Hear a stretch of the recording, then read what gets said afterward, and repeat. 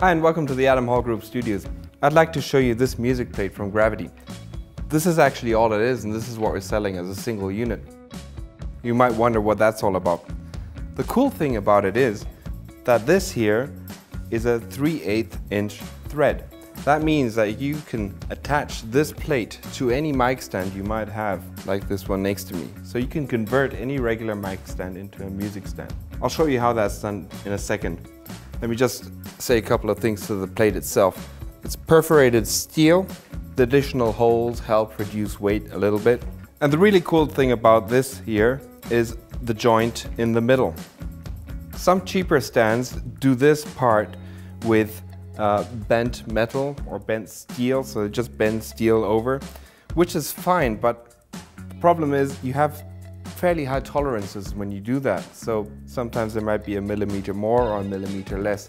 And that means that this joint can sometimes jam.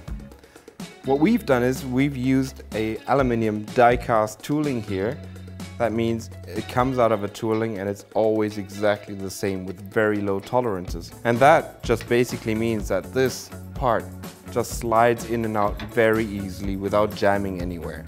Once you're done, you just tighten the knob here to fix the plate.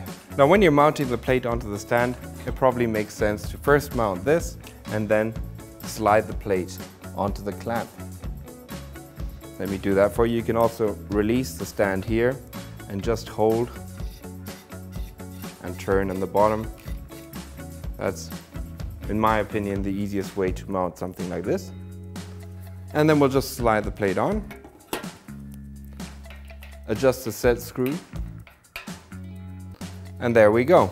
We have a very elegant and slim, sleek music stand which can be adjusted in height all the way up to here. And because the height grips of the Gravity stands are very strong, there is no concern about this slipping down, it works perfectly.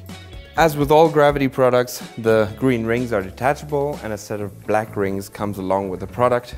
And also, the knobs are the typical gravity double injected knobs, meaning that the inside is an ABS or nylon hard plastic material, depending on which knob we're talking about.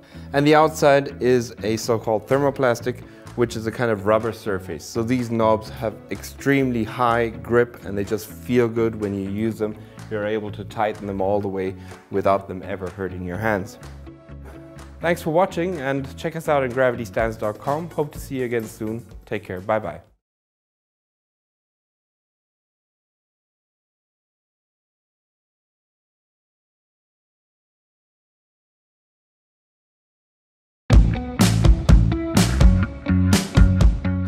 Hi and welcome to the Adam Hall Group Studios.